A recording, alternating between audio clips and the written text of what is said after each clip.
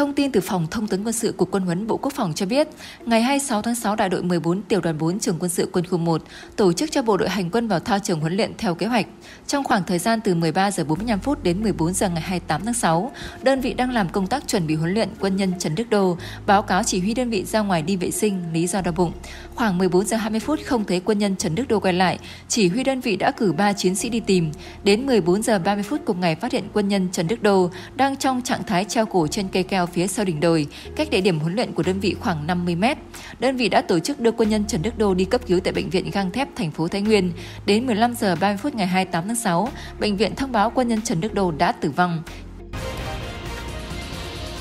Viện Kiểm sát Nhân dân tỉnh Thái Bình vừa ban hành cáo trạng chuyển tòa nhân dân tỉnh Thái Bình để đưa ra xét xử Nguyễn Xuân Đường và đồng phạm về tội cưỡng đoạt tài sản vụ ăn chặn tiền hỏa táng. Theo cáo trạng trong khoảng thời gian từ cuối năm 2017 đến tháng 4 năm 2020, Nguyễn Xuân Đường lợi dụng danh nghĩa và núp bóng công ty trách nhiệm hữu hạn Đường Dương do vợ là Nguyễn Thị Dương làm giám đốc để ép buộc 25 cơ sở dịch vụ tăng lễ tại Thái Bình phải hoạt động và nộp phí 500.000 đồng một ca hỏa táng cho đường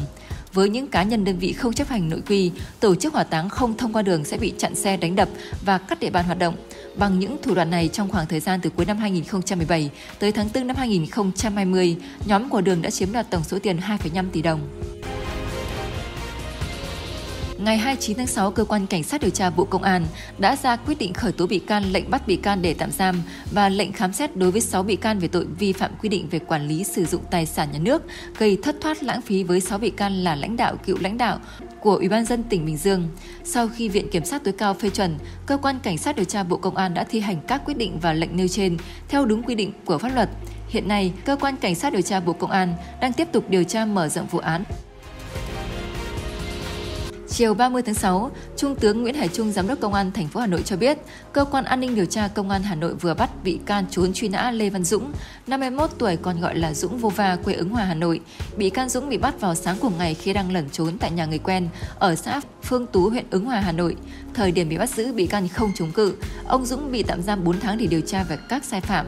Trước đó, cơ quan an ninh điều tra công an thành phố Hà Nội đã ra quyết định truy nã đặc biệt đối với tội danh bị khởi tố, làm tàng trữ phát tán hoặc tuyên truyền thông tin tài liệu vật phẩm nhằm chống nhà nước Cộng hòa xã hội chủ nghĩa Việt Nam. Tuy nhiên, ngày 25 tháng 5, ông Dũng đã bỏ trốn. Ngày 1 tháng 6, cơ quan an ninh điều tra công an thành phố Hà Nội ra quyết định truy nã.